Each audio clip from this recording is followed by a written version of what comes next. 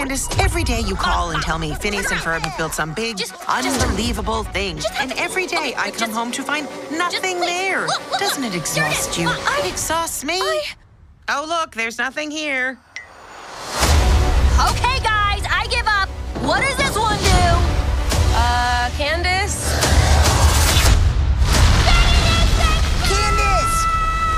Where are you going? Where is she going? Candace got abducted by aliens and taken to another planet. When we step through this portal, we're gonna be on an alien planet. Hello and welcome, aliens. Ah! Giant robots! Quick, give them Buford! Oh, that's just Norm. He's he's usually harmless. If we're going to rescue Candace, we need to build a spaceship. My galactic travelinator! You mean like a spaceship? But it's an inator. There's a difference. It's branding. Leave me alone.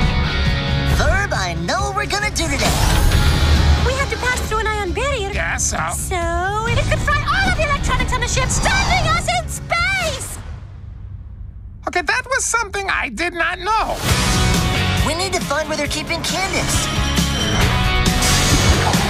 Hold on! I know what we're gonna do today.